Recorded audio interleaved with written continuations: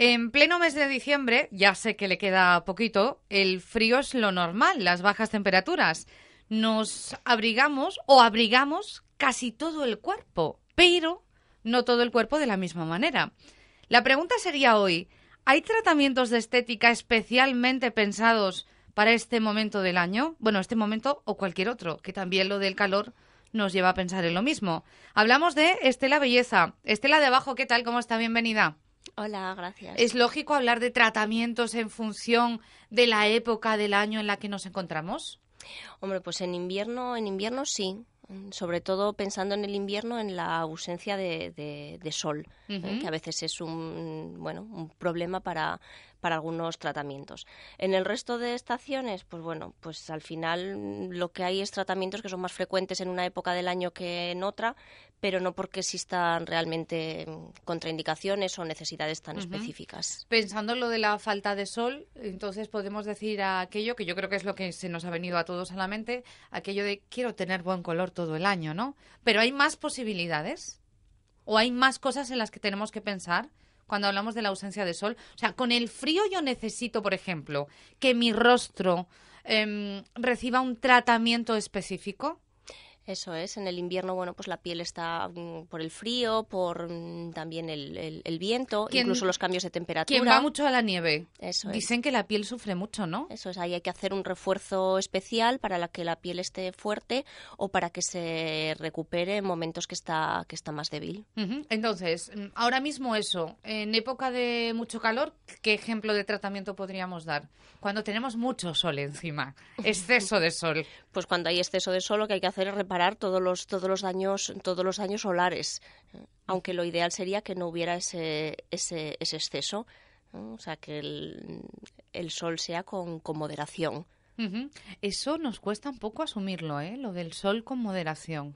Bueno, cada vez hay más, cada vez hay más conciencia. ¿eh? Entonces no es una prohibición de no sol, pero, pero con cabeza.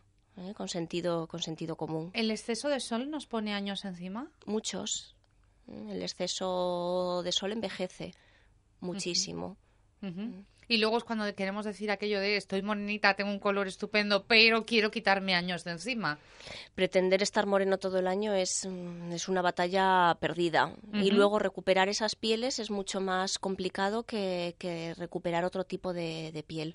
El envejecimiento, vamos, se, se multiplica. Técnica para todo el año, la depilación. Aunque hay momentos concretos en los que enseñamos más el cuerpo y lo cuidamos mal. Si hablamos de técnicas para depilarnos, cada vez hay más posibilidades. Eso es, tenemos pues desde la cera, cuchillas, cremas depilatorias, las maquinillas, eh, depilación eléctrica y luego todos los sistemas de, fotodepilación, que son los que mm, hacemos en invierno. Ajá, fotodepilación.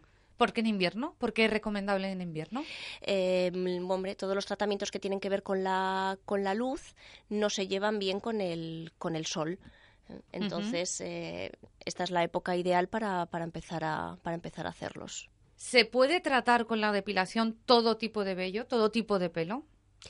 Pues hoy en día mm, prácticamente sí, todos. Gracias un poco a los equipos, eh, a nuestros equipos, y bueno, luego también a un sistema con el que trabajamos, que es una tecnología cosmética, que lo que hace es convertir mm, cada pelo en un pelo ideal para, para trabajar con, con, láser. Aún así, bueno, siempre es necesario pues, pues una cita informativa, valorar la piel em, efectivamente valorar el vello y luego, bueno, pues comprobar que es apto. ¿eh? Pero bueno, aún así, de una forma o de otra, se puede...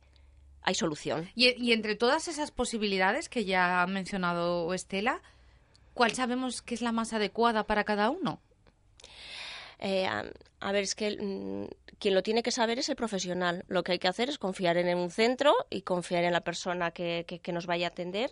Y una vez escogido esto, pues es el técnico el que, el que decide qué hacer, cómo hacer y cuándo hacer. Aquí, pues yo lo siento, pero no manda, no manda el cliente. No manda el cliente, manda el que sabe, ¿no? Eso es.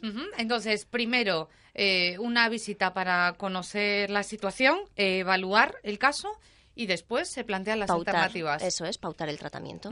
Y no estamos hablando de un tratamiento quizá en algunos casos de en una sesión lo tengo solucionado. No, lo que pautamos es eh, con- los sistemas de, de elección, la frecuencia. Y luego, bueno, pues a medida que, que vamos avanzando, pues, pues, pues se va viendo, se va viendo cada caso concreto. ¿Se pueden tratar las manchas en la piel? Sí, también. se y hay distintos tratar. tipos de manchas, todas son iguales, requieren de tratamientos diferentes. Así a grandes rasgos podemos decir que hay como dos, dos tipos, ¿no? Más o menos de manchas. Eh, las que se nos vienen a la cabeza cuando pensamos un poco en las manos, en los escotes, manchas redonditas, pequeñas, los léntigos, ¿eh? Mm. son como pequeñas lentejitas. Sí. Eh, ese tipo de manchas que mm, nosotros las tratamos con luz, las tratamos con láser. Y luego están las otras manchas que son, bueno, pues ahí sí que yo, o sea, sí que se nos viene más a la cabeza, pues a lo mejor como una embarazada, ¿no? Pues que son esas manchas más, más difusas, grandes en el, en el rostro, más desiguales, eh, el melasma. Y ahí nosotros utilizamos unos sistemas de, de, bueno, unas mascarillas despigmentantes. Ahora que habla de las embarazadas, que ya sé que no es solo problema de ellas, en general de todo el mundo, pero. ¿tienen solución las estrías? Pues sí, eh, hoy en día, mm, por, por suerte, sí, sí que tienen, sí que tienen solución. Em, depende, volvemos a lo mismo, un poco depende del caso. Hay zonas que reaccionan muchísimo mejor, ¿vale? ¿Pero El se abdomen eliminan o se disimulan? mm, se llegan a eliminar en digamos que hay como estrías más aptas de tratamiento Sí. o, o no. Entonces, por ejemplo, las del pecho, las del abdomen, cuando es una estría que está sentada en una zona flácida de la piel y la piel está muy sueltita, ahí el resultado es, es fabuloso. ¿eh? Nosotros las pinchamos con radiofrecuencia Mm. y lo que hace es, bueno, es una microquemadura controlada que lo que hace es ir sellando las, las paredes de, de la estría. En Estela Belleza utilizáis mucha aparatología. Mucha. Ujú. Mm, Mucha, sí. Desde, desde siempre, cada vez más, pero bueno, tampoco, no renunciamos tampoco a la, La parte... mano y ni la aparatología, ¿no? Eso es, a la parte manual, ni a la base de, de la estética tradicional, que también se necesita. Ujú. Estela Belleza, les recuerdo que están en el centro de Gijón, en la calle Ruiz Gómez número 11, en la primera planta, y que tienen un teléfono, el 985 17 14 14. 985 17 14 14. Hasta la semana que viene. Gracias. Adiós. Adiós.